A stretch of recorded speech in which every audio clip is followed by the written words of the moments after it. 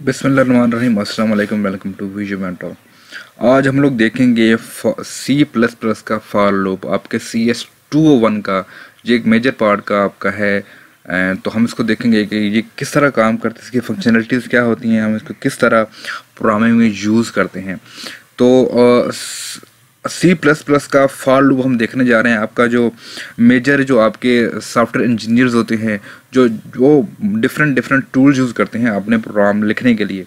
तो जो most of the use होने वाला आपका लूप है, वो फॉर लूप है। आपके पास डू वाई लूप है वाई लूप है।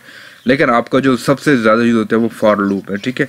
ये सबसे, क्या कहते हैं इसको, ये सादा भी है एंड इजी भी है एंड इफ़ेक्टिव uh, भी है तो इसलिए आप मोस्टली जो प्रोग्रामर हैं वो फॉर लूप यूज़ करते हैं।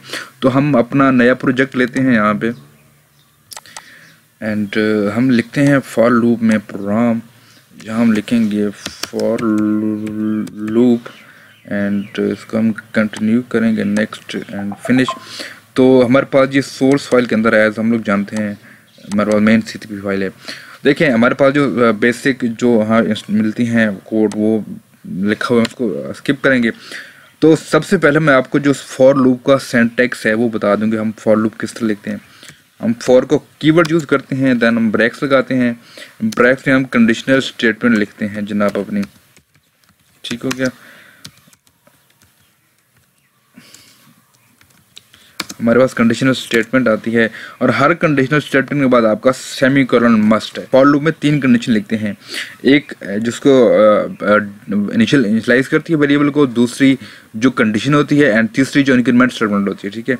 हम जो जिसमें इनिशलाइज करते हैं वेरिएबल को, उसके बाद सेमी कॉलन लगाते हैं। देन जो हमारे पास कंडीशनल स्टेटमेंट होती है, उसमें हम लगाते हैं आपका सेमी कॉलन देन जो आपकी लास्ट में होती है इंक्रीमेंट स्टेटमेंट उसमें हम सेमी कॉलन नहीं लगाते।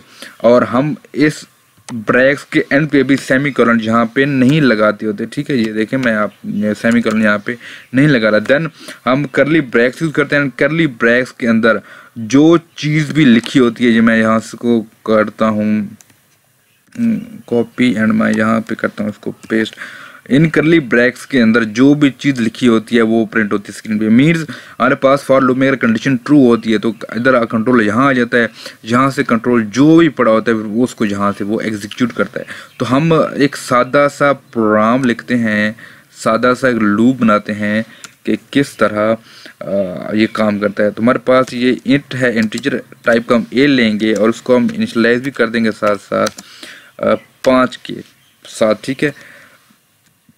अब हम लगाएँगे यहाँ पे कंडीशनल स्टेटमेंट के, जो हमारे पास वेरिएबल ए है,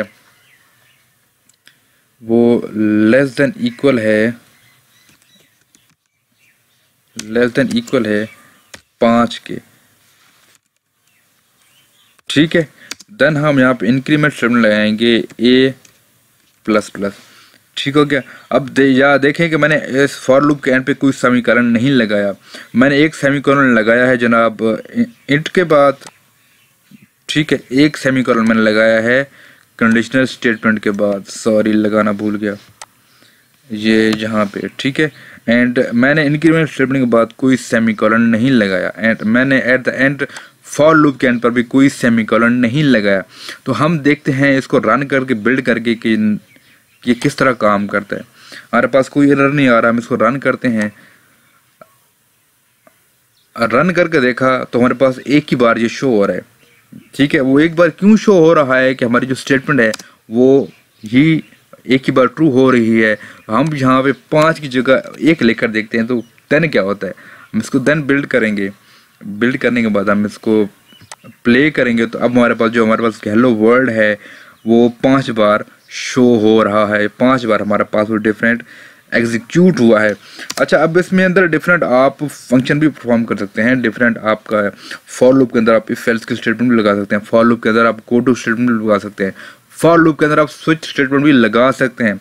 फॉर लूप का मकसद क्या है कि चीज़ों को इरिटेट करना रोटेट करना, एक ही कंडीशन को जो बार बार ट्रू होता है उनको रोटेट करते रहना।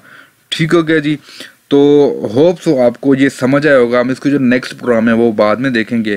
बेसिक आपको समझाने का मकसद ये था कि इसका बेसिक सेंटेक्स है, वो किस तरह काम करता है जो बेसिक प्रोग्राम लिखते हैं, वो किस तरह लिखा जाता है। तो अगर वीडियो अच्छी लगी है लाइक करें शेयर करें कमेंट करें एंड सब्सक्राइब तो लाजमी करें।